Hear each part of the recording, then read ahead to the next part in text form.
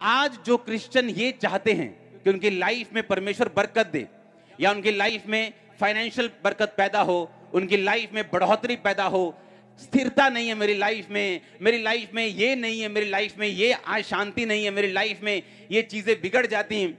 Bible कहती, आदि में यीशु परमेश्वर के साथ था यीशु ने और परमेश्वर ने, यानी एलोहिम गॉड्स ने, बाप ने और बेटे ने, एक से ज़्यादा परमेश्वर बाप और बेटा है वो एक ही, जिस तरह आप हैं और आपकी ज़ुबान है। आप और आपकी ज़ुबान आपकी ज़ुबान ने दे को धारा। आप वही हैं, लेकिन आपकी ज़ुबान गई। कहते ना, अगर तू बंदा है तो बंदे का पोता तो एक ही ज़ुबान रखी। यानी जो जेंटलमैन है, उसकी एक ही ज़ुबान है। और बाइबल कहती, वही ज़ुबान देदारी हुई और आपके और मेरे बीच में यीशु मसीह के रूप में आई। अब आपको समझ आ रही है कि नहीं? कहती, वही ज़ुबान, वही परमेश्वर, वो परमेश्वर के साथ था। यीशु परमेश्वर के साथ था और वचन के बिना कुछ भी पैदा नहीं हुआ। अब पैदा कैसे हुआ? बाइबल कहती, आदि में एलोहीम ने आकाश और पृथ्वी की सृष्टि की।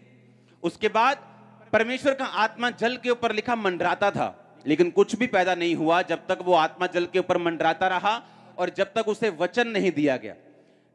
परमेश्वर पिता ने सोचा, पृथ्वी कैसी होनी चाहिए, पेड़ कैसे होने चाहिए, मछलियाँ कैसी होनी चाहिए। आप जानते हैं, समुद्र में इतनी गहराई और इतनी मछलियाँ कि 70 परसेंट प्रजातियाँ अब तक तो खोजी नहीं गई।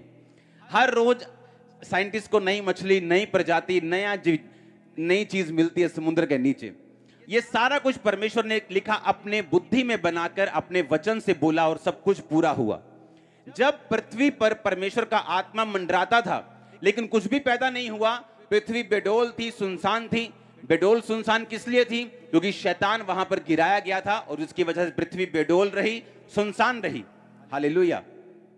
वो गिराया गया, बनाई पृथ्वी पहले थी। जैसे सृष्टि की गई, उसके बाद, सृष्टि के बाद पृथ्वी बिगड़ गई शैतान के गिरने के कारण। ये एक अलग विषय है, आज हम इसे नहीं छेड़ेंगे। पर बाइबल कहती है, पृथ्वी का पृथ्वी के ऊपर परमेश्वर का आत्मा मंडराता था और जैसे ही परमेश्वर ने बोला, उजाला उजाला बोला तो उजाला, यानी वचन बोला, परमेश्वर की उपस्थिति वहाँ पर बैठी जो यहोवा पिता की, तब तक कुछ नहीं कर सकी और आत्मा जल पर मंडराता तब तक कुछ नहीं कर सका, जब तक यीशु मसीह वहाँ पे नहीं गए यानी वचन वहाँ पे नहीं गया। इसका मतलब क्या? आपकी लाइफ में परमेश्वर की प्रेजेंस हो सकती। आपने पवित्र आत्मा को पा लिया। हाँ? पवित्र आत्मा आपकी ज़िंदगी में वो आपको छूता भी है जब आप प्रार्थना करते हैं। आपको महसूस भी होता है कई बार कि परमेश्वर की प्रेजेंस मेरे साथ है। लेकिन बाइबल कहती, परमेश्वर की प्रेजेंस कुछ नहीं कर सकती जब तक उसने वचन को नहीं पाया।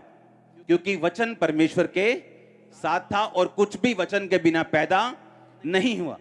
इसीलिए अगर एक विश्वासी वचन के साथ जुड़ा हुआ नहीं, उसे यह नहीं मालूम कि परमेश्वर का आत्मा जो आपने पाया है, वो अपने आप काम नहीं करता जब तक आप वचन अपनी लाइफ के ऊपर नहीं बोलेंगे तो। और जैसे आप वचनों को बोलते हैं, बाइबल कहती कुछ भी वचन के बिना पैदा नहीं हुआ और ना ही होगा। और जैसे आप वचनों को बोलना शुरू करते हैं अपनी लाइफ के ऊपर, आप वचन को पढ़ते हैं रोज, वचन को बोलते हैं रोज, आप वो नहीं बोलेंगे जो आपके दिमाग में आ रहा है। आप वो नहीं बोलेंगे जो आपकी रिपोर्ट में आया। आप वो नहीं बोलेंगे जो आपको लग रहा है। आप वो बोलेंगे जो बाइबल कहती है।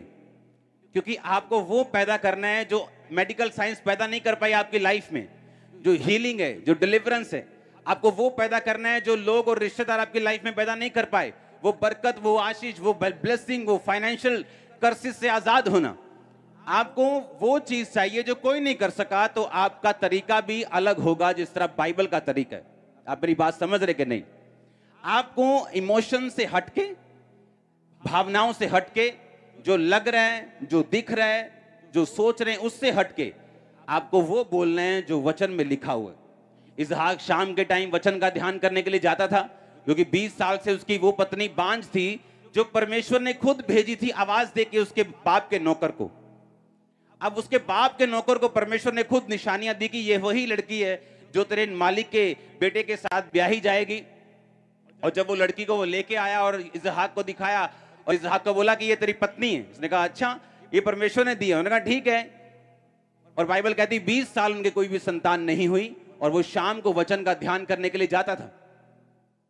और जब शाम को क्या ध्यान करता था वचन का? कि जो वचन में लिखा हुआ, वो अपने आप पूरा नहीं होता। आपको उसे बार बार पढ़ना पड़ता है। आपको बार बार उस पर मनन करना पड़ता है। उसके लिए टाइम निकालना पड़ता है और उसको अपनी आत्मा में बार बार फ़ीड करना पड़ता है अपनी आत्मा को। चाहे आपको लगे कि असर हो रहा है, चाहे आपको लगे असर नहीं हो रहा, पर आपको लगातार उस वचन से अपने आप को फ़ीड अपने आप को, अपने आप को खिलाना होता है आपको वचन बार बार बार बार बार बार बाइबल कहती जो परमेश्वर की आज्ञाओं से अति प्रसन्न रहता है। उसने ये नहीं कहा, जो हाहें भर भर के परमेश्वर का वचन मानते हैं। उसने कहा जो उसकी आज्ञाओं से अति प्रसन्न रहते वो नहीं जिसने सिगरेट छोड़ी और दूर से कोई सिगरेट पी रहा है। तो देख, यार। पूरा दिल कर रहा है सिगरेट पींदा और दिल में दुखी हो रहा है मैं क्रिश्चियन बन गया। ये ये अभी भी बॉन्डेज है, ये अभी भी बंधन है। ये सही चीज़ नहीं है। ये निशानी है कि अभी तक आप डिलीवर नहीं हो पूरी तरह से। अभी तक आप फ़्लाइट लेने के लिए आत्मिक उड़ान भरने के लिए आप तैयार नहीं हो। ये निशानी है इस बात की। अभी भी आपको ब्लू फ़िल्म देखने का अटैक होता है। ये निशानी है कि आप फ़्लाइट लेने के लिए तैयार नहीं हो। अभी भी अभी भी शराब पी के करता है यार, की करिए यार फंस गए यार। चलो ले आओ यार, दो पैग इसका मतलब अभी अभी आप तैयार नहीं कितने मेरी बात को समझ रहे लिखा जो उसकी आज्ञाओं से अति प्रसन्न रहता है। जिसके लिए अब ये चीज़ें कचरा बन चुकी हैं। उसे कोई मतलब नहीं। वो इग्नोर करता है इन चीज़ों को। इसका मतलब ये नहीं कि ये चीज़ें उस, पर अटैक नहीं करती या उसका दिल नहीं करता। पर उसको मालूम है ये नथिंग है ये ज़ीरो है। ये बेजती करवाने के लिए ये डाउन करवाने के लिए ये परमेश्वर से दूर लेके जाने के लिए ये अपनी ग्लोरी अपनी महिमा अपनी लगाई गई परमेश्वर की आग पर पानी डालने के लिए तो आप इनसे दूर रहेंगे और आज्ञाओं से अति प्रसन्न रहेंगे। उसने कहा अगर तू मेरी आज्ञाओं से अति प्रसन्न रहेगा खुश रहेगा आहें भर भर के नहीं करेगा उसने कहा, तुम, तेरा वंश पृथ्वी के ऊपर प्राकर्मी होगा। तेरा वंश, तेरे बच्चे पृथ्वी के ऊपर प्राकर्मी होंगे। इमेजिन करो, इजहाक इसी वचन के साथ वो मनन करने के लिए जाता होगा कि मैं परमेश्वर की आज्ञाओं से अति प्रसन्न हूँ। उसे कोई मलाल नहीं कि जो पत्नी परमेश्वर ने भेजी, वो 20 साल से बांझ है। उसके पास खरबों रुपए की प्रॉपर्टी थी। उसे कोई डर नहीं था कि इसका वाली वारस कौन होगा, ये नौकर चाकर क्या? उसे कोई चिंता नहीं थी। बाइबल कहती, वो अति प्रसन्न था और परमेश्वर की आज्ञाओं के ऊपर मनन करता था, वचन के ऊपर मनन करता था। और 20 साल के बाद क्या हुआ? जो उसने मनन किया रोज रोज मनन कि मैं उसकी आज्ञाओं से प्रसन्न हूँ। मेरा वंश पृथ्वी के ऊपर प्राकर्मी होगा। बाइबल कहती, जो उसको दिल और जान से मानते हैं, वो धर्मी कहलाते हैं। तो बाइबल कहती, धर्मी का वंश बचाया जाएगा। ये वचन हथियार है अगर आपको मालूम हो तो क्योंकि एक बात याद रखो यीशु परमेश्वर के साथ था। कुछ भी यीशु के बिना पैदा नहीं हुआ। आप 20 साल बांझ रह सकते हैं चर्च में रहते हुए भी।